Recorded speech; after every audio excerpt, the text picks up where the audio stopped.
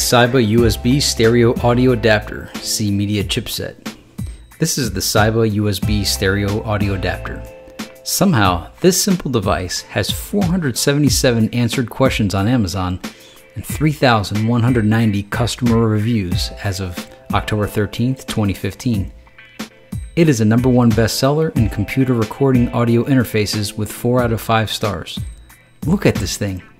You plug a headset and a mic into it. How could there possibly be 477 questions for this device? Yet there is. That's creativity. I couldn't come up with 477 different things to even say about this. So, if you have a question whether or not this will work for you, check the Amazon page. There's 477 questions. Chances are one of those is your question. If you do purchase this, you will need to define to your operating system to use it, even though the drivers automatically install. From what I've read in the questions, it works with the Mac OS X, Windows, Ubuntu Linux, and even PS4. Some said they use it on their Macs that don't have audio jacks, but they had the headsets that have these jacks and use this adapter to interface into a USB port. There apparently are hundreds of uses for this seemingly simplistic device, which I thought only had a singular use.